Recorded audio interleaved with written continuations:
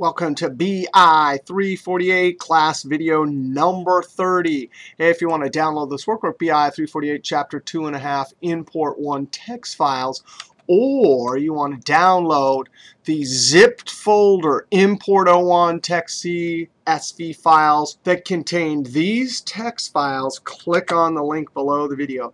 Hey, now actually, I've already done this exact example here, but I did it in Excel 2013. I just want to show you in Excel 2016. That's a brand new version that just came out less than a month ago. I want to show you where Power Query is. So in earlier versions, you had to download it, and it would show up as a Power Query ribbon tab. But now we simply go over to Data, and there it is.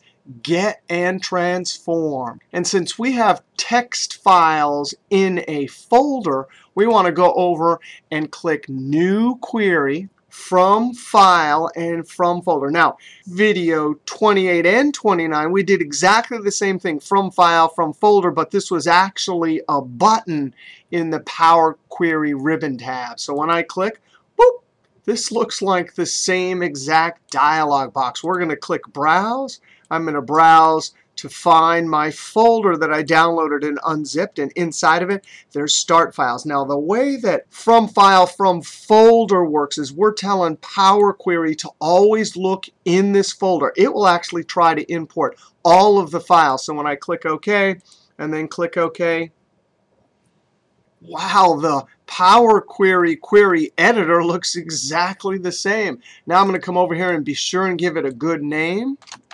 I call it import grade data from text files. Step one is we have .txt, which is tab separated data, and .csv, comma separated. And I only want the text, so I'm going to click the drop down and filter out the .csv. So now this query is programming. Over here you can see the steps to look in that folder and only get file extensions .txt. Now check this out. If we were to dump more text files in that folder and refresh inside of Excel, it will automatically go out and get those. Right now we only have two files.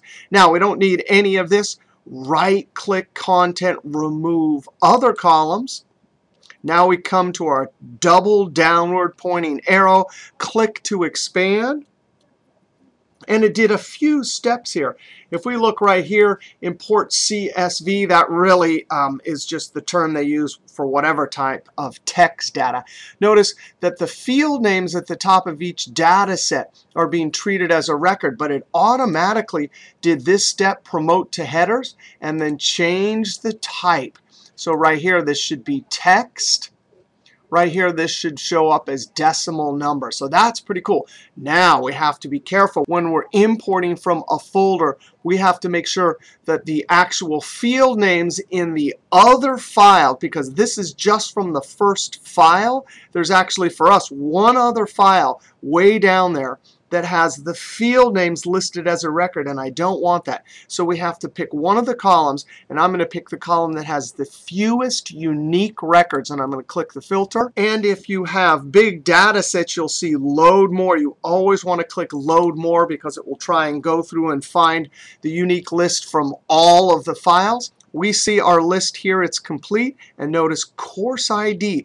Of course, the first file promoted it, but that one record further down there has the field name. So when I filter this, it will actually filter out the whole record, which means the actual three field names from that second file. I'm going to click OK, and there it is. All of our steps. We have a name. Now we can go to Home, Close and Load. You don't want to do that unless you just want it automatically on the new sheet. I'm going to have complete control, so I click Close and Load to. We're going to dump it as a table. You could do only create a connection and then dump it into the data model. We did that last video, video number 29. But here we just want to dump it as a table. I'm going to click Existing. Worksheet A1 is fine, and click Load.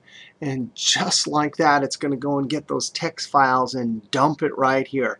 Now back in video number 28, we took this example and built a dashboard and then added new files and refreshed and everything updated.